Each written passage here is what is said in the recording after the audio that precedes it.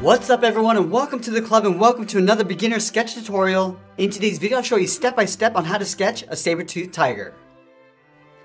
Let's begin by sketching a circle in the center of our page. Remove to a side grip, sketching with the flat side of our pencil. Let's start at the very top and just lightly work our way around the left side. Just using these short lines coming in and then work our way around the right side. Just going to go back and readjust our circle.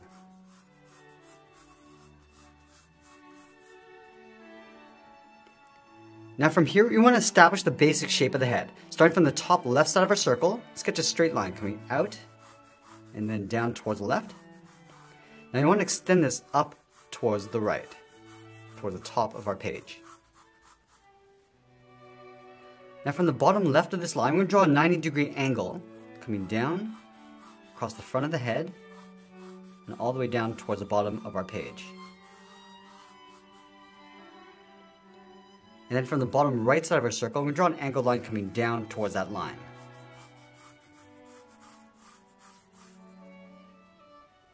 From this point on the left side, we're going to step down, draw another angled line, just follow that angled line going up, across our circle, and then out towards the right. Let's go back over towards the left side. We're going to step down, just going to curve the mouth, going in, just crossing that circle, and then coming down towards that bottom line. Now right where this curve meets the circle, we're going to draw that same angle line coming down and out. Let's go back to the top of our circle. Along this line, we're going to come over towards the left and sketch a small circle for the eye.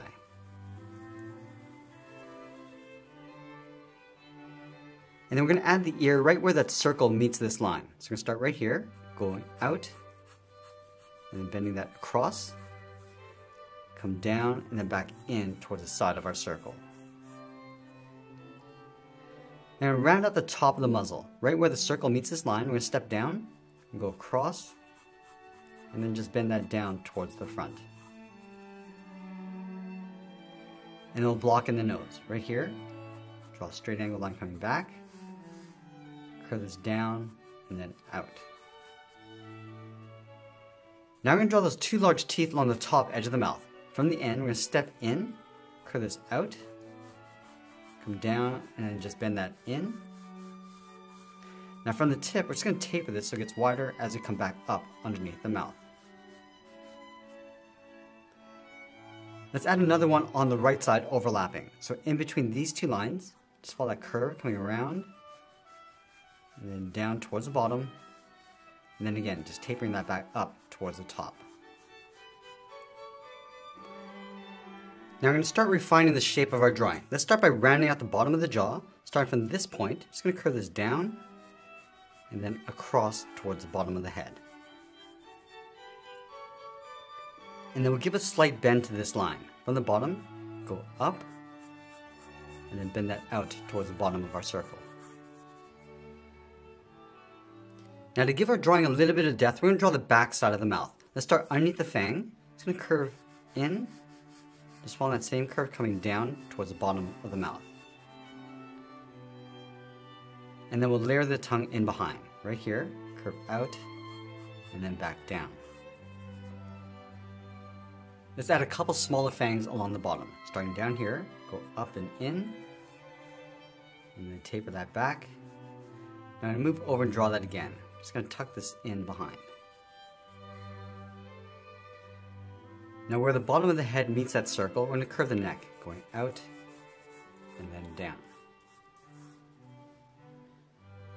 And then going up to the top of the circle in the center, just to curve the head going up, around the ear, and then out. Now you want to reduce some of this clutter, so we're to erase some of these guidelines along the outside of the head. Working our way towards the back. And then erase some of the lines along the inside going towards the eye.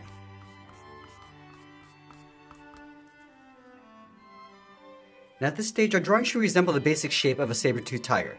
Now the next thing we want to do is add a second level of detail. Let's start with the brow. From the outside of the eye, I'm just going to curve this in and then up towards the top of the eye. Let's come around the side and then down. And I'll trace the eye along the bottom, starting underneath the brow, going down, and then back up. Now let's move over and add some shape to the nose. Starting from the outside, just gonna round this out, and then bring that down, curve this down, and then out, and then we'll round out the end, just connecting the top and bottom with a curve. Let's add a half circle along the bottom for the nostril, and then we'll lightly shade that in. Now I'm gonna add some shape along the top of the mouth, starting underneath the nose, come down, and just bend that in behind the teeth. I'm gonna go back up to this line, I'm curve the muzzle coming down across the teeth, and then back up. And then we'll fold down the corner of the mouth, starting on the outside. Just gonna bend this down, and then back up. Let's wrap the lower jaw around those teeth. And curve around the top, come down, and then back up on the outside. And I want to shorten the end of the jaw, so we're going to curve this down and then out. Let's go back and refine those teeth on the outside, just lightly tracing these out. And then we'll trace the top two teeth.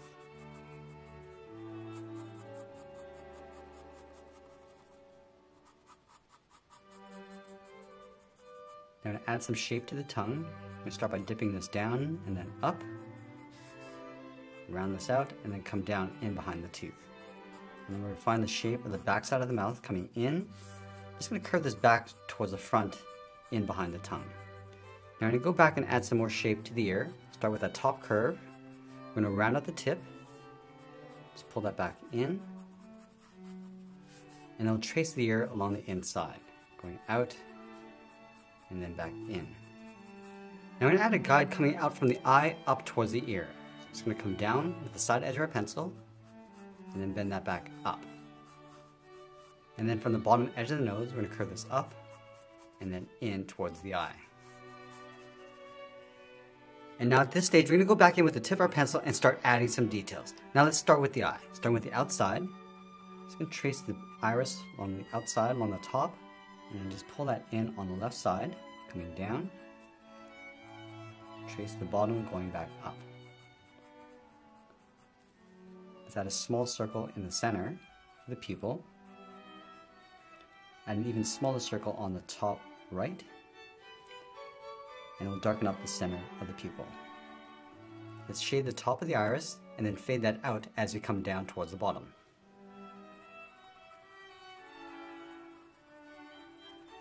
Now I'm just going to darken the areas around the eye. Starting with the left side. And I'm just going to fade that out as I come up and forward.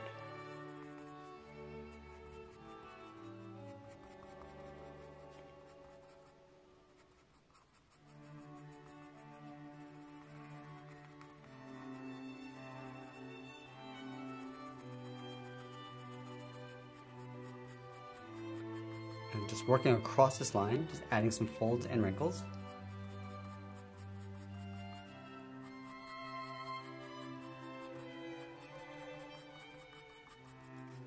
Then using the side edge of a pencil, I'm just going to add some shading around the eye.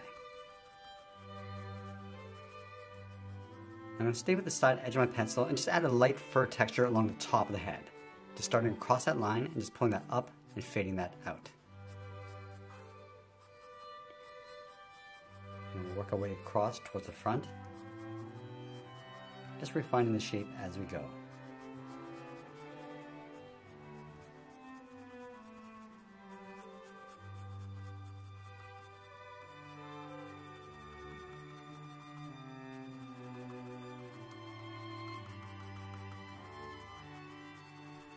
I'm just adding some different tones.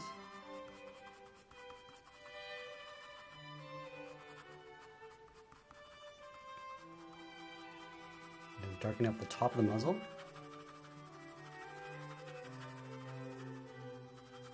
And we'll go back and just add some more shape to the nose.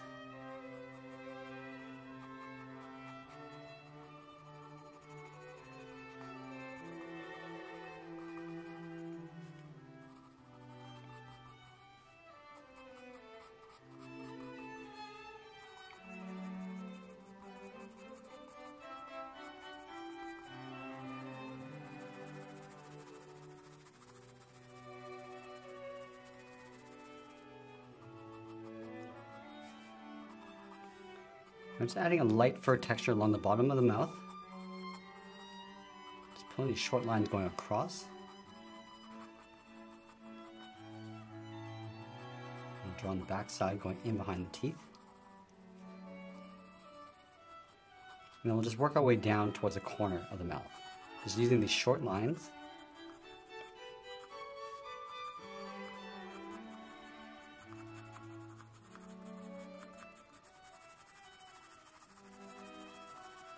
Going back and adding a little bit of shading across the muzzle. And along the bottom.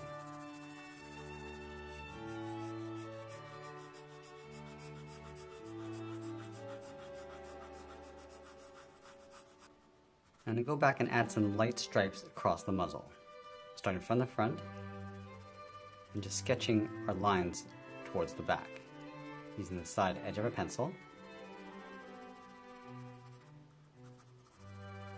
And we'll come back and add some more detail after.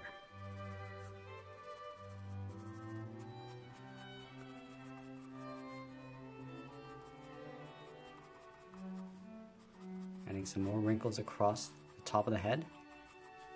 Just working our way towards the nose.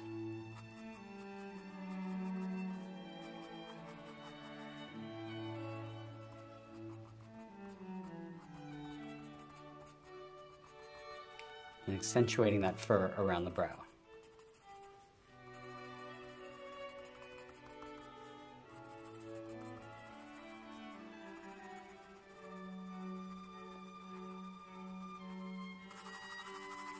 So there another pass of shading. Just working our way down and across. Just working away from the eye and out.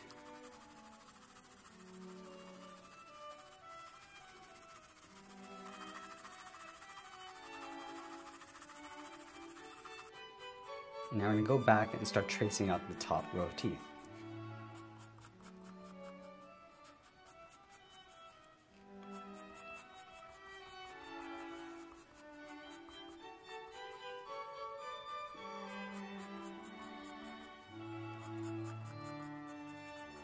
And then lightly shade those in. And then with the side edge of our pencil, I'm just to add a shadow across the top and then blend that down.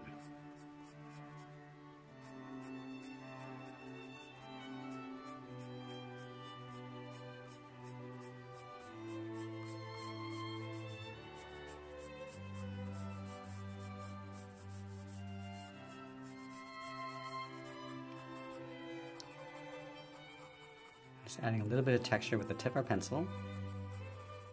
Just darkening up the top of the tooth. Spots along the inside.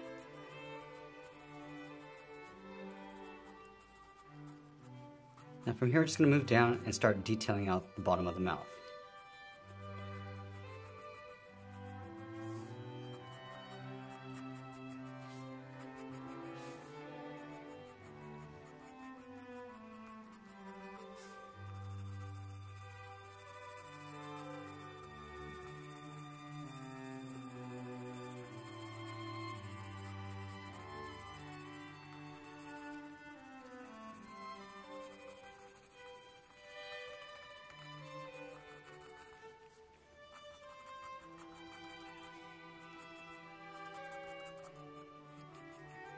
Working our way towards the front, just around the teeth. And then we'll darken up the top of the gum line.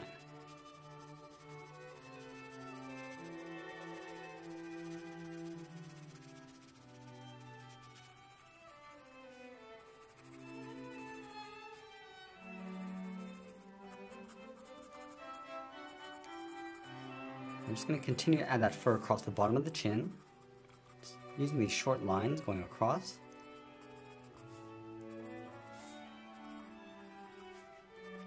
And just working our way towards the back. Now just adding a little bit more texture from the gum line and across the top of the fur.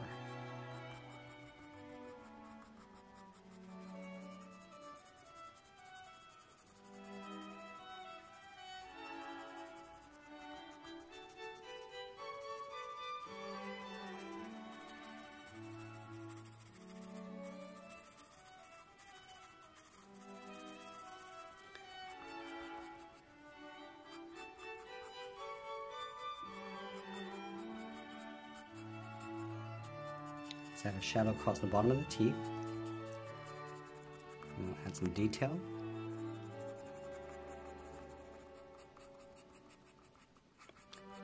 And adding more shape to the tongue.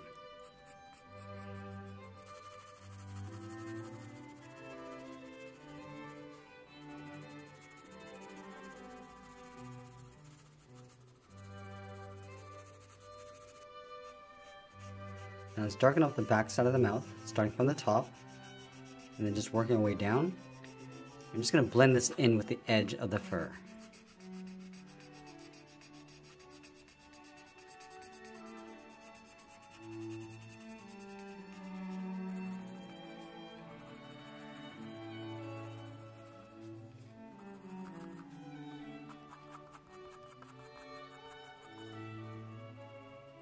I'm just going to go back and refine those spots and those stripes across the muzzle. Just enhancing the circles.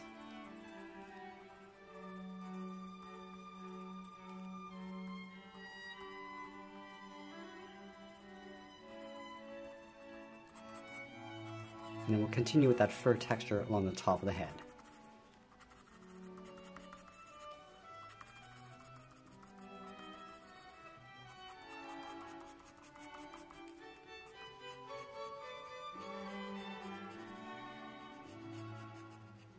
Going to add a notch along the bottom of the ear.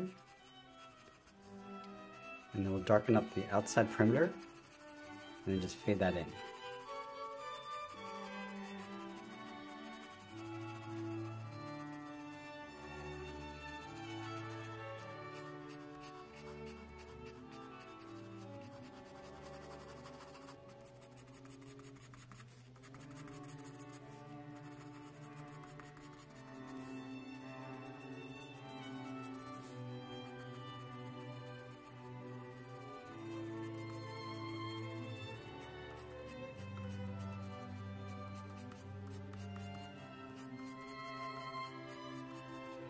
Just adding some shape to the fur along the back of the head, going across the neck.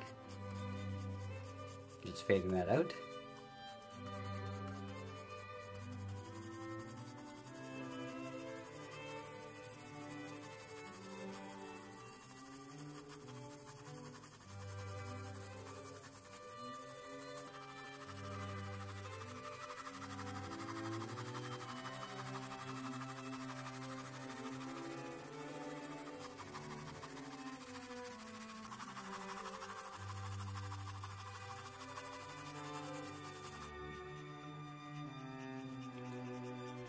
Now we're just going to block in the fur shadow across the jawline.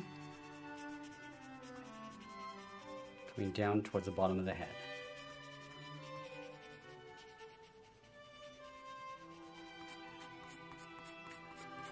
stretch that shadow across the neck.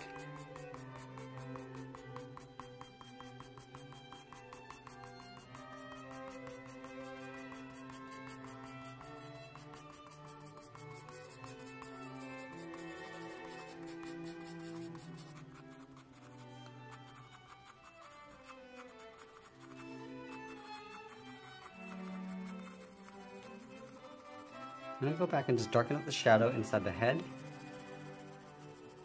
Going across the top. And then coming down underneath the eye. Towards the bottom.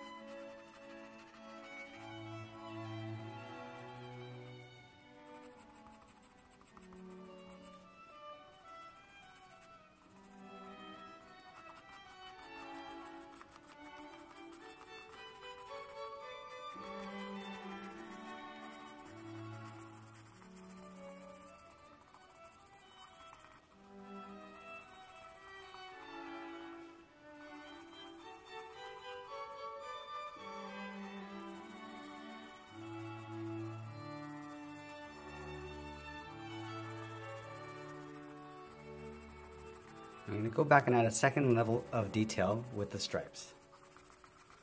Just darkening up the contrast.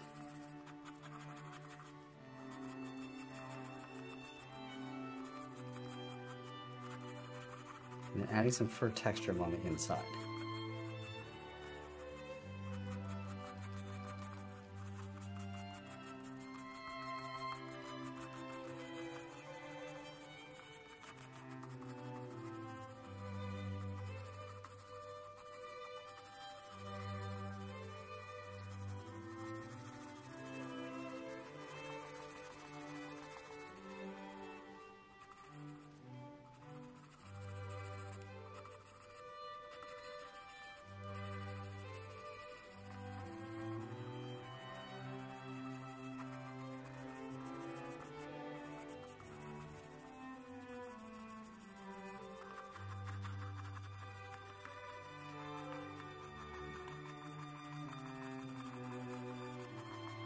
I'm just going to define the musculature of the jaw with the fur.